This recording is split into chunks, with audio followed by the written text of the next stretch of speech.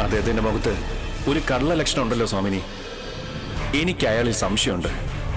അദ്ദേഹം ഈ ആശ്രമത്തിൽ വന്നിരിക്കുന്നത് മനഃശാന്തിക്കോ പ്രാർത്ഥനയ്ക്കോ ഒന്നുമല്ല മറ്റെന്തോ അദ്ദേഹത്തിന്റെ മനസ്സിലുണ്ടെന്ന് ഞാൻ സംശയിക്കുന്നുണ്ട്. അധികം വൈകില്ല കല്യാൺ. പെട്ടെന്ന് തന്നെ യഥാർത്ഥ കൊലയാളിയെ നിയമത്തിന് മുന്നിലെത്തിക്കും. ശിക്ഷയും വാങ്ങിക്കൊടുക്കും. അന്ന് കല്യാണിന് ഈ പറഞ്ഞതിലൊക്കെ കുറ്റബോധം ഉണ്ടാവും.